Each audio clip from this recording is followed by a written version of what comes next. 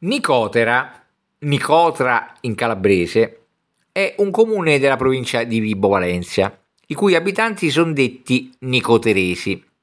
È adagiata a 212 metri di altitudine sulle ultime propaggini meridionali del Monte Poro, con ampia veduta sulla sottostante piana e sul golfo di Gioia Tauro, dove è posta Nicotera Marina, Monte Santeria di Palmi, lo stretto di Messina, l'Aspromonte e le isole Eolie.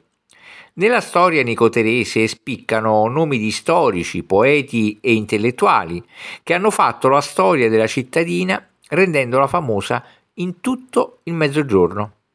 In antichità si credeva che Nicotera sorgesse sul luogo dell'antica Medma, tesi confutata dopo l'inizio degli scavi a Rosarno del 1912, diretti da Paolo Orsi. Il nome attuale deriva dal nome romano Nicotiria, che significa segno della vittoria, in quanto fu fondata da Ottaviano, che poi sarebbe diventato imperatore Augusto, nel 100 a.C., dopo una vittoria contro Sesto Pompeo davanti alla costa. Viene ricordata dal geografo greco Strabone per essere stata un emporium, poi citata di nuovo tra 200 e 300 d.C. nell'itinerario antonino come importante stazio sulla via consolare Annia Popilia. Nel Novecento la città subì il definitivo tracollo per via delle numerose incursioni saracene che spinsero gli abitanti a ritirarsi in alto, sul sito dove oggi sorge la cittadina. Poi, nel 1065, Roberto il Guiscardo la potenziò e la fortificò. Così la città poté risorgere attorno al castello che egli fece costruire. Roberto il Guiscardo era infatti alla ricerca di un approdo marittimo per i collegamenti con la Sicilia dove si stava combattendo per allontanare gli arabi dall'isola. La nuova città, ricostruita seguendo schemi tipicamente normanni, risplendette da allora di nuovo fascino. Il castello e la cattedrale rappresentavano il cuore della città e da qui si ripartivano le strade che portavano ai diversi quartieri. Tuttavia fu nuovamente distrutta e quindi ricostruita da Roberto d'Altavilla. Fu distrutta ancora una volta e poi ricostruita nel 1074 da re Tamin d'Africa e nel 1085 dalle truppe di Benevert. Seguì un'ennesima ricostruzione da parte del conte Ruggero di Lauria, che ne potenziò anche il porto. Venne ancora attaccata e distrutta dagli Almovaridi, Almoravidi, guidati da Ibn Maimun, il figlio di Ruggero, Ruggero II, la ricostruì nel 1122.